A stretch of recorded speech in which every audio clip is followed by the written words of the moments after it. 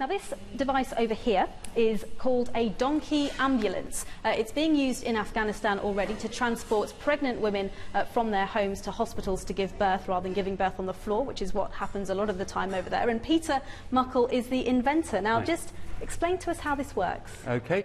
Well, uh, this is basically a, a base that the ladies sit on, which is made of camping cushions in there, inflatable camping cushions. Um, and then on the top is a U-shaped support, which is made from a, a pool lounger. Okay. So the woman, the woman sort of sits in The here. Does woman she gets sits in here with her back her here, and right. the knees can be supported there.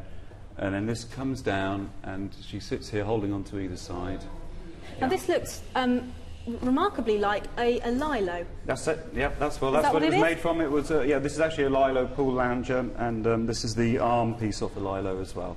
And you made this in Anglesey in Wales, which is a million miles away from the northern uh, mountainous areas of Afghanistan, but That's it right. is being trialled there. What have the women yeah. there fed back on um, this? Um, well, the feedback we've had from Afghanistan has been very positive uh, all round, um, and um, the, the women, uh, they all say they want one, and uh, they're prepared to um, pay for it, the communities as well, which is a positive sign.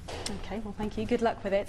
Well, this donkey saddle costs just $100 to make, and that's really the point of this event today. It's about developing very new, frugal, different, unusual technologies to help save lives in the developing world. They may not be as tried and tested as they would be in countries like here in the UK, but the thought is if they're cheap and they can save a few lives even, they're worth investing in.